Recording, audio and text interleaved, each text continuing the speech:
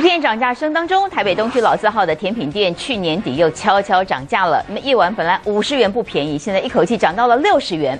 网友在网络上 po 文大表不满，说不但涨价，而且馅料也变少了，而且这个涨十块钱，这个涨幅实在太多。但询问店家，店家无一例外的通通推给了原物料。珍珠粉圆让人一口接一口。有这一家老字号的东区甜品店，去年底悄悄涨价，有网友就发起了团体订购。等到东西送到付钱的时候，赫然发现这一碗粉圆一口气涨了十块钱。还有人订的是红豆汤口味，打开吃却怎么也找不到红豆，会不会有一点夸张？实际到店里买一碗料似乎真的比较少，有点贵，有点贵，因为以前好像不到五十块。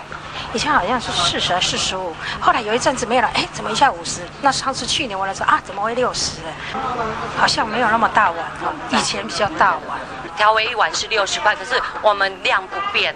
一碗甜品最便宜也要六十元，等于吃一个便当，拿来和涨价之前比一比。以前五十元一碗，料多到几乎要满出来，汤汁也很浓稠，涨价变六十元。